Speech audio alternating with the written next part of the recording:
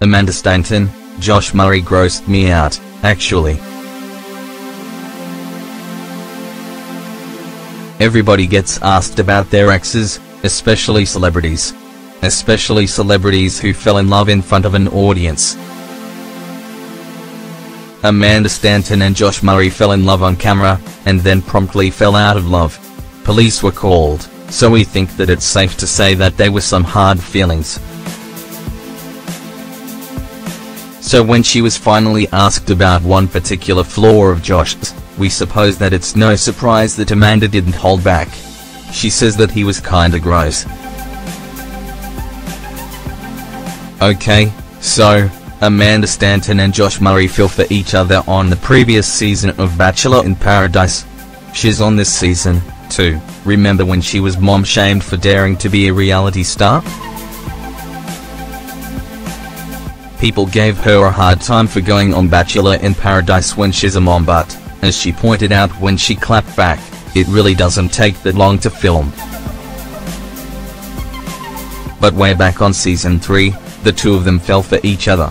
They even cuddled quite conspicuously, which turns out to be strangely relevant to this story.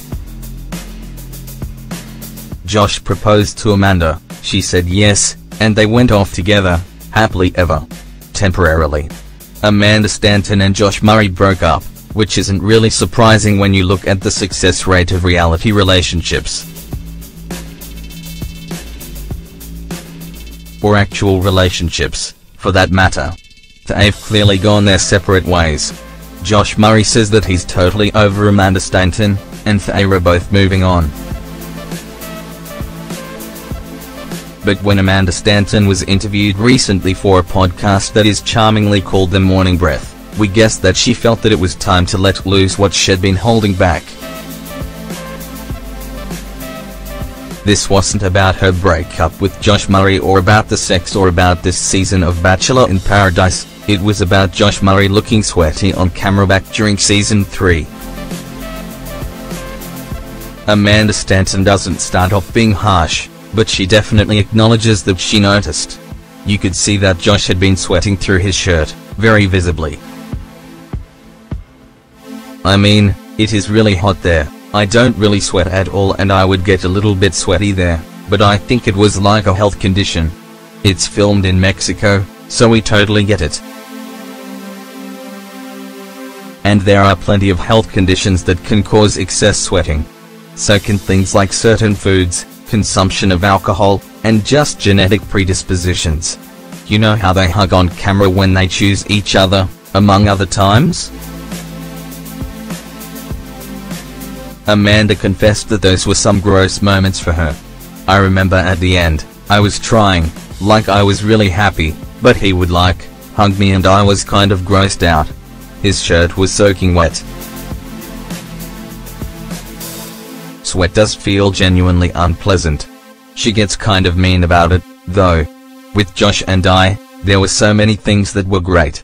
But there was just something that felt a little bit off, he's a sweaty person.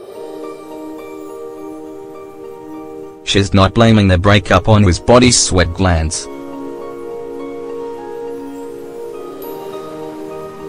We do wonder what the factors involved were, because we'd think that Mexico is as hot as the surface of the sun and everybody's drinking all day would explain any sweat to anybody's satisfaction. No health condition there required. Though they were no longer allowed to drink as much, given Bachelor in Paradise's new rules. But maybe it persisted when they were living together. The fact of the matter is that different folks are wired differently. Some people think that 70 degrees is too cold, others think it's too hot, and others think that it's just right. Similarly, different amounts of sweat are normal or abnormal for different individuals.